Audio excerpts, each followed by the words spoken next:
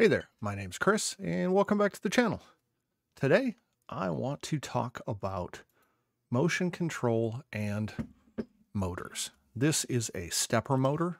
The size is a NEMA 34, and if you are unaware what steppers uh, do, it is a DC motor that allows you to control exactly how much it turns, uh, and it moves in steps the way these work is they are driven, not directly, but they are driven by a motor drive. And I have one of those sitting here somewhere.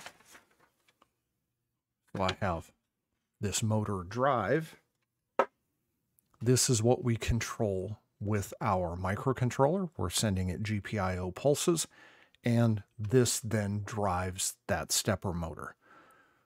I'll go into more detail on how this exactly works in a uh, future video. But the important thing to know here is if we take a look at right here, if I can get it to focus. There we go. It says it either takes 5 volt or 24 volt logic. So the input from the microcontroller needs to either be 5 or 24 volt. I'm going to be controlling this with my Meadow here. And the Meadow, its outputs from its digital uh, controllers, its digital I.O., is 3.3. So we need to convert the 3.3 logic output from our code to the 5 volt that this drive needs in order to operate. So uh, today we're going to go over how we do that. There are probably many ways to do it. Uh, the simplest way that I can think of is we're going to use some transistors. This is just a cheap set that I picked up off of Amazon. I'll put a, a link down in the description if you care, but really these are easy to find. The thing to know about transistors is they're a switch, and there are really two types of transistors. There are PNP and NPN. So let's take a look we've got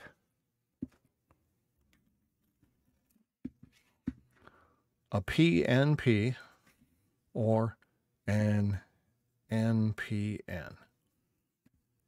This has to do with physically how they work, but I tend to just try to remember their usage based on these P's and N's. If you go P is positive, N is negative, this has more P's, so this is positive. So this connects connects to voltage. It connects to positive voltage. And an NPN's got more N's in it, so more negative. So this connects to ground. That's generally how I remember them for usage. Now, what we've got in that kit you can see it's got PNPs, NPNs. It's got a variety of them. We're actually going to use these two, the 2222 and 8550 today. But let's talk a little bit more about how they operate and just how you identify these things uh, when you're looking at them. Now, really, all transistors, their electrical symbol, let's see if we can straighten this up a little bit. There we go. The electrical symbol for these this is kind of the input or the base. And then they've got two wires. And in fact, if we take a look at one of these, it's got three wires. And that really corresponds to those three, right? Now a PNP, its symbol has an arrow here, whereas an NPN has its arrow here. So that's how you tell the difference between them on a schematic. Again, these connect to positive, these connect to ground. So if we look at what we want to do here is we want to have a 3.3 volt signal. So 3.3. And we want to use it to switch 5 volts. So let's say we've got 5 volts up here. We're going to go through a resistor just to minimize current. and into our transistor. Now, what I want to do here is I'm going to connect this through a resistor and I'm just going to call it 10K. We'll call this a 10K for now. And then we're going to go to ground. Since it goes to ground, we're going to use an NPN. So it's direct connected to the ground. And then we're going to tee off right here. And this will be our, let's call it, if I can spell, call it our signal. So this is our output. So we want to use 3.3 to drive 5 volt. So let's take a look at kind of how this works. When we apply voltage here, it's going to basically close this like a switch. And when it closes, this then connects to ground. So the signal goes to ground. So when this is high, this connects to ground, so the signal will be low. When this is low, this switch is open. I'm calling it a switch because that's how they act. Since it's open, then we have 5 volts flows through here. Let's take a look at that on a, a quick simulator view. This is effectively the same thing that I had just done. In fact, let's take a look at them side by side. All right. So you can see we've got our transistor here 5 volts, 3, 3. Now what I've done here is I put in a switch. This will allow us to simulate the high or low for the output. And this is the output, I guess, our signal line. You can see right now it's at 5 volts when this is off. And when I turn it on, this goes drops down to, you know, 16.9 millivolts or close to zero. Once this is wired to something uh, through our load to ground, it's going to drop to zero. The thing to note here is right now our 3.3 volt signal is high. So we've said on and this is off. And if I change my signal off, then my output is on. So we're inverted. We could obviously write code that inverts that, but it's a little bit difficult to always keep that in your head uh, logically. I like to have the input as uh, the same as the output. So let's extend this to do that so that when we uh, have a high input to our circuit, we have a high output and a low input equals a low output. The way we'll do that is we will do that with an additional transistor. This time we're going to use a PNP. So if we come back over here to the simulator, let's add a few more components. We'll add a ground. We're going to add a resistor that will act as our load. Another resistor and the PNP.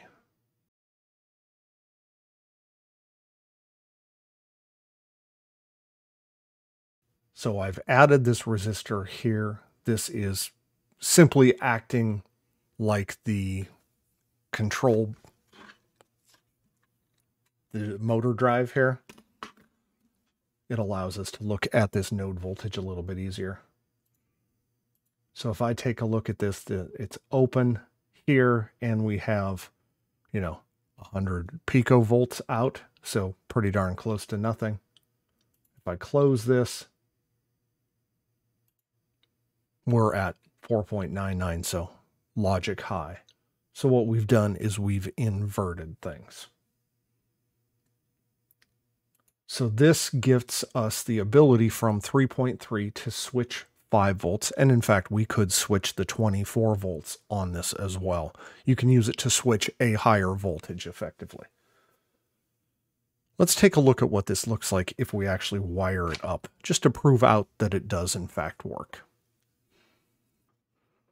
I've got the circuit already built here because really I don't think anybody wants to watch me stab uh, components into a breadboard. I'll move it around here so if you want to slow it down or pause and see how it's wired, you can. But what I have is up here, this will be our voltage that we're switching, so 5 volts in this case. This is our input, so this is our signal from the microcontroller, and then this will be the output. So this we should be able to feed 3.3 volts, and this will switch either 0 or 5 volts based on the state of this line here. Now I'm using these transistors like this and uh, resistors because they're through-hole components. They're really easy to, well, first of all, put on a breadboard, but also if you have things like perf board that you want to move to afterward, they're easy to solder up. There are some discrete components or some, I guess, uh, some chips that would allow you to do all of this probably with fewer components. Um, but this is simple enough. It's a really easy circuit. So let's see, how do we test this? Well, I'm going to use this microcontroller, again, the Meadow. I'm not going to be using it to actually drive anything right now. What we're going to do is we're just going to use it as a power supply because this has a 5 volt rail, and then it's got a 3.3. So we can just use these two power supply outputs to verify everything is working. So what I'll do is I'll connect 5 volts to our high here. And I guess this is a good uh, time to take the opportunity to explain for those of you guys who are software developers that haven't done much hardware how actually a breadboard works, right? So these, this area here, you can kind of, uh, I guess, break this into four areas of the breadboard. This is a power supply rail, and they're connected in rows. So everything in this row, the top row is connected to one another, and then the next row down are all connected. And then this block here they're connected in columns. So everything in this column is connected, this one, and so on. Same thing here. These columns are connected and these rows are connected. This region is separate from this. This is separate from this. So it allows you to breadboard things out. So if you take a look at, uh, well, it's kind of hard to see, but I've got the second row here. I've got wires that come from this positive rail through. They're connected to all of these resistors and this wire, and that is basically this part of the circuit here. Again, we're just using this as a power supply to prove out that this works. So let me apply power, and then let's grab a meter move things around a little bit so we can see them. There we go. Now I'm going to connect the ground from here to this ground wire. And the reason for that is so that I can connect our meter to ground and the ground here over to this other board. Then we will connect. Um, we've already got the 5 volt. And actually, really, that's all we need to do. Right? Oh, let's connect the output to the meter. So right now, with our input floating, so not connected to anything, we've got zero volts on the output of our circuit. If I connect it to ground, so I plug it into ground, I continue to have zero volts. So output of low gets us low here. If I connect it to high, helps if we put that wire in, doesn't it? 3.3 volts to high. There we go. Now, it says 4.6, 4.7. You might be wondering, I thought you said we were switching 5. Well, nominally we're switching 5, but the power supply on this doesn't read 5. If I move this just up to the power rail, you can see it's only providing 4.6, 4.7 input. And we're getting the same thing here as the output. So we're switching whatever this input voltage is to the output. So it's 4.7, but if I move it over here, you can see we're using 3.3 here to switch it. Again, if I go back to ground, we're back to zero. So we are, this would be at a low, and this is a high. So this is effectively switching everything. And really, that's all there is to it. I'm going to have to uh, put two of these together for our output to drive our motor drive. But really, this is what I wanted to cover today. In the next video, we will talk about how to hook all of this up to the drive, how to hook the drive to the motor, and what the signals mean, how they work. And we'll take a look in more detail at how you can use one of these to drive a stepper motor and do some actual work. Until then, thank you for watching.